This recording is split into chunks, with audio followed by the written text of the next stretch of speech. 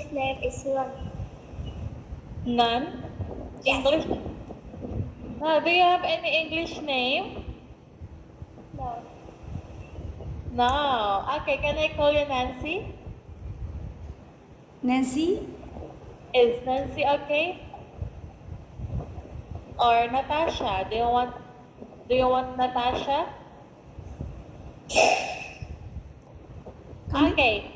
So Ngan, how old are you? I'm 10 years old. You're 10 years old. Where do you study? I study at school.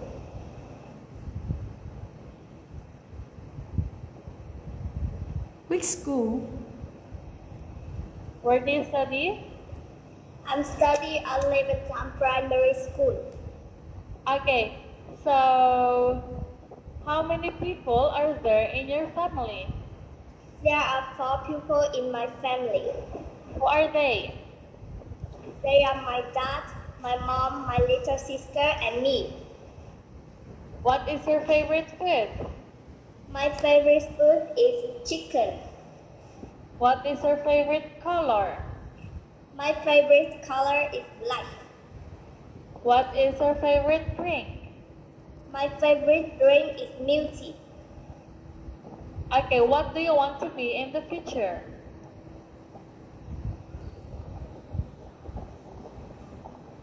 What do you want to be in the future? I want to be teacher. Okay, you want to be a teacher. That's good, man. Thank you so much. ok cho con hỏi thăm là con muốn trở thành à, giáo viên dạy môn gì con Con muốn làm giáo viên dạy tiểu học ạ. À thế thì còn tuyệt vời quá các môn mà có cả toán văn anh luôn đúng không? Mà phải rất là giỏi. Và những năm nhiều năm sau nữa con thì các môn như tiến tới các trường quốc tế mình sẽ học tất cả các môn bằng tiếng Anh đấy. Thì con sẽ trở thành một giáo viên song ngữ con phải không? Con có thể dạy tiếng Việt cho dạy tiếng Anh tiếng Việt và thậm chí là dạy cho người nước ngoài nữa. Vậy bây giờ con sẽ phải thật là giỏi tiếng Anh. Thế con đã vào app làm chưa con? Dạ con chưa. À thì con mở app. À, con làm đi. Con tạo tài khoản à, với số điện thoại gia đình nhà con sau đó là à, mật khẩu mà cô đã đưa lên nhóm là một ba bốn năm sáu đó. Mình tạo tài khoản sau đó học. Thì có thể học vượt lớp có thể vào thi IOE và có thể là à, ôn các chương trình lớn hơn như IELTS và có chứng chỉ IELTS sớm thì con có thể trở thành à, công dân toàn cầu đó con ạ. Và giỏi học các môn giải toán và tiếng Anh vân vân. Và hy vọng là sẽ gặp lại con một à, bạn nhỏ rất là giỏi các môn học trong đó có thể giải được các môn bằng tiếng Anh nữa nhá. Vậy là hẹn gặp lại con trong các giờ học buổi sau.